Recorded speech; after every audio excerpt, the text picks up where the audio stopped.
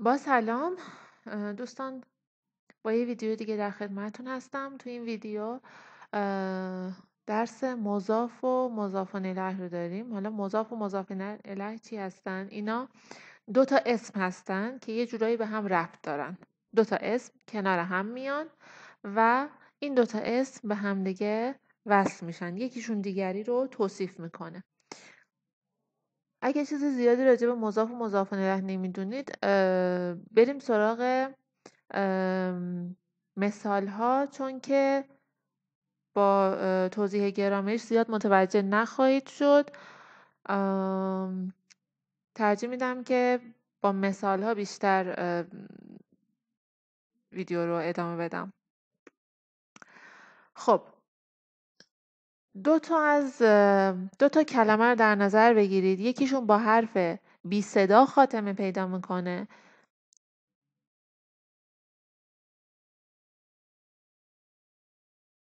و دیگریش هم با حرف بی صدا خاتمه پیدا می‌کنه. ولی اولی پسوند ان این اون و اون رو می‌گیره بنابر قواعد واجی. و دومی پسوند ا ای او و او رو می‌گیره هر دوی اینها به حرف بی صدا ختم میشن خب مثال می‌زنم آدامن اوی آدامن اوی آدام یعنی مرد حالا یه مردی یه آقایی ببینید که کلمه به حرف بی صدای م ختم شده. پسوند اون رو گرفته. او حرف بی صدای و رو داره و پسوند ای رو گرفته. به آخرین صدایی که در آخرین هجای هر کلمه وجود داره اون پسوند هم تابعیت می‌کنه. خب آدامون اوی خانه اون مرد. حالا یه مردی که داره راجع به صحبت میشه. سلینین کتاب.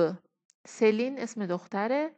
این کلمه به, آخ... به یه حرف بی صدا ختم شده. کتاب.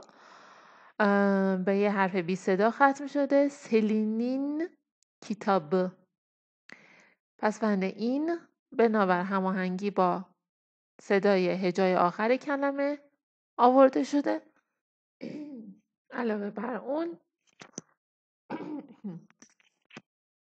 علاوه بر اون کتاب هم بنابر هجای آخری که کلمه داره پسوند او رو گرفته. یعنی کتاب سلین. سلینین کتابı okulun müdürü okulun müdürü همونطور که می‌بینید هر دو کلمه به دو حرف بی صدای ل و اینجا هم به حرف بی صدای ر ختم شده و بنابر هجای آخرشون پسوندشون انتخاب شده. اوکولون müdürü یعنی مدیر مدرسه. بابامın ruhu بابامın ruhu بابام یعنی پدر من. بابامın یعنی یه چیزی که مال پدرمه. روحو روح پدرم. خب این کلمه ها و مثالهایی که می‌زنم گاهی اوقات ممکنه خیلی متداول نباشه. علتش اینه که خواستم هر هشتا پسوند اینجا قرار بگیرن توی صفحه قرار بگیرن. این قواعد دوستان این پسوندهایی که مضاف و مضاف الیه می‌گیرن. اینا طوری نیست که به طور سیستماتیک بخواید کنار هم بذارید و این حرفا. انقدر باید مثال هایی بشنوید در مکالمه های روزمره تو فیلم هایی که نگاه می‌کنید تو مطالبی که می‌خونید انقدر باید ببینید اینها رو تا خودشون خود به خود جا بیفتن. مغز یواش یواش اونا رو خود به خود حل بکنه. فقط این قواعد رو یاد بگیرید که بدونید این پسوند چی شده از کجا آمده و متعلق به چیه و برای چی اومده. در حالت عادی موقع صحبت کردن شما نمی‌تونید به اینا فکر بکنید. فقط می‌تونید شنیده هاتون رو تقلید بکنید تکرار بکنید. خب بریم سراغ مثال بعدی. کاپمون رنگی. کاپم یعنی درم دری که به من تعلق داره معمولا در خونه میشه. کاپمون رنگی. رنگ در خونم. اتین دولابı اتین دولابı ات یعنی گوشت. دولاب یعنی یخچال. یخچال گوشت. etin dolabı oğlumun düğünü. Oğlumun düğünü. Oğlum yani پسرم düğün yani عروسی oğlumun düğünü میشه عروسی پسرم bölümün sonu. Bölümün sonu. یعنی آخر یه قسمتی از یه سریالی یه چیزی یه برنامه تلویزیونی. ممکن اینو تلویزیون زیاد بشنوید. bölümün sonu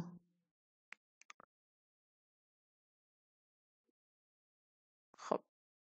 مضاف و مضاف الیه بعدی اینجوری هستش که یکی از کلمه ها یعنی کلمه اول به حرف بی صدا ختم میشه کلمه دوم به حرف صدادار ختم میشه. اگر کلمه دوم به حرف صدادار ختم بشه یک حرف سه اضافه میشه کنار پسوندامون.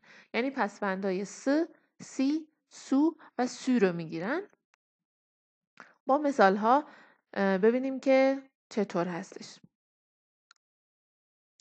müdürün annesi müdürün annesi همونطور که می‌بینید کلمه اول به حرف بی صدا کلمه دوم به حرف صدادار ختم شده و بین حرف صدادار ا و صدادار ای یک صدای س هم اومده. خب müdürün annesi مدیرون یعنی چیزی که متعلق به مدیره آنسه یعنی مادرش میشه مادر مدیر گلینین دایس گلینین دایس گلین یعنی عروس دای یعنی دایی میشه دایی عروس گلینین دایس چجومون üzüntüsü. Çocuğumun üzüntüsü çocuğum میشه بچم çocuğum çocuğum میشه بچم üzüntü یعنی ناراحتی قصه ناراحتی بچم çocuğumun üzüntüsü منظور ناراحتی روحی هستش غم و اندوه patlıcanın kilosu. Patlıcanın kilosu.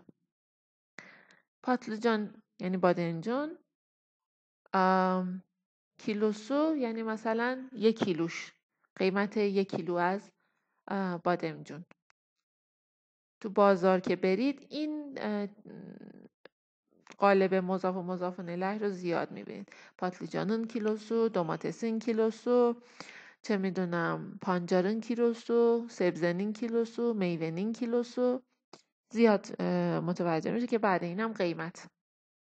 میگن مثلا پاتlıcanın kilosu 2 lira اینجوری میشه قیمت کیلوی بادمجان دو لیره. خب. مثال بعدی müdürün çantası کیف مدیر. کلمه اول به حرف بی صدای ر کلمه دوم به حرف صدا داره آ ختم شده. مدیرن چانتاسی سناون سورسی. سناو یعنی امتحان سوره یعنی مدت. سناون سورسی مدت امتحان. تلویزیونون ارتوسو. تلویزیونون ارتوسو. ارتو یعنی روکش. یه چیز مثل رومیزی دستمالی چیزی.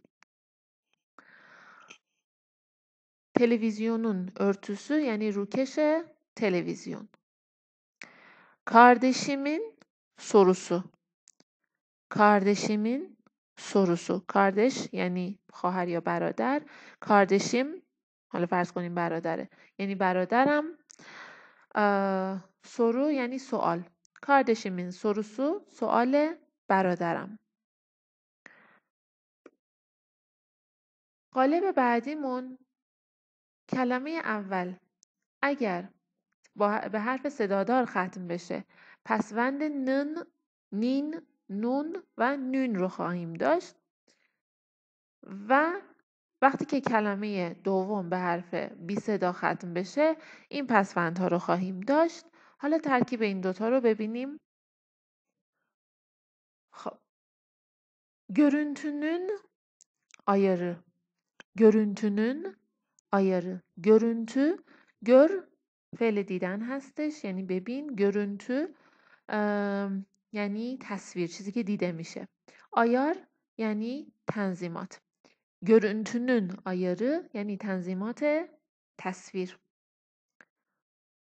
Ali'nin ceketi Ali'nin ceketi yani kote Ali kuzunun sütü. Kuzunun sütü. Kuzu yani berre süt yani şir.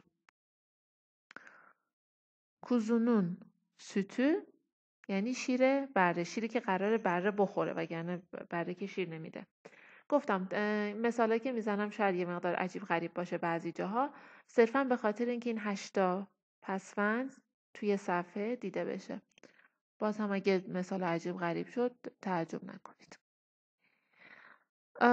babasının kolu babasının kolu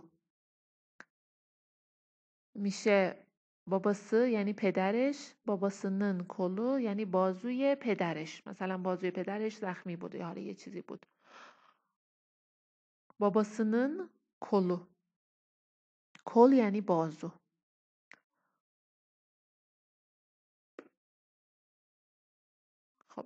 Ütünün ayarı ütünün ayarı یعنی تنظیمات اتو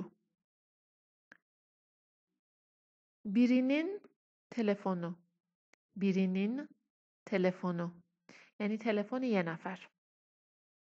biri یعنی یه کسی یه شخصی حالا هر کسی که شد birinin telefonu تلفن یه نفر bunun küçüğü. Bunun küçüğü.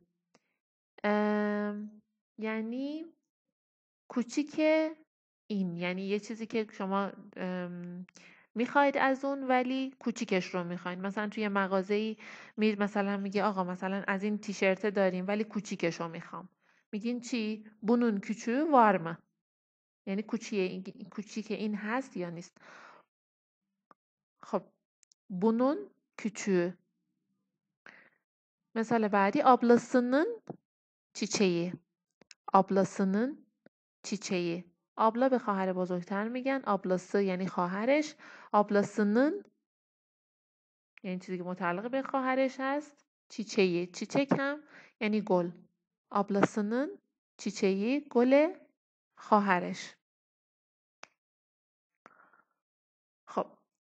ترکیب بعدیمون هر دو کلمه به حرف صدادار ختم میشن مثالمون رو ببینیم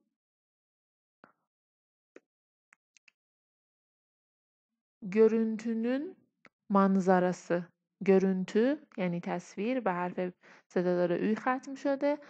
manzara به حرف صدادار آ ختم شده. görüntünün manzarası. یعنی منظره یک تصویری یک جایی که دیده میشه. Ali'nin annesi. Ali'nin annesi.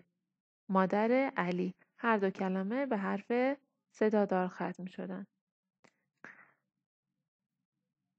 کوزونون کیلوسو کوزونون کیلوسو یعنی کیلوی گوشت گوسفند یعنی گوشت گوسفند کیلویی مثلا صد لیره. حالا هرچیه اوکی.